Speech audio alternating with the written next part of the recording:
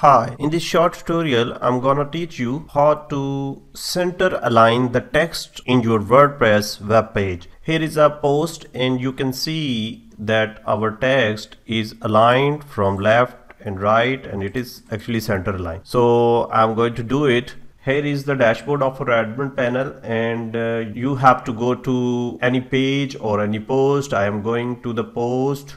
Here is it. Here is our test post here we go. And uh, I have a Elementor plugin here for making the posts or pages. So I'm going to edit it with Elementor.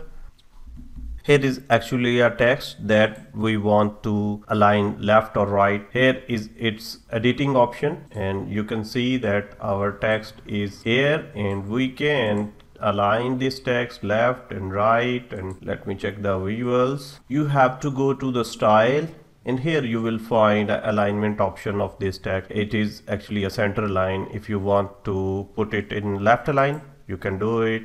You can justify it or you can set it as center. After adjusting all these options you have to update it. And the job done. Thank you very much for watching this short tutorial. Keep watching the next one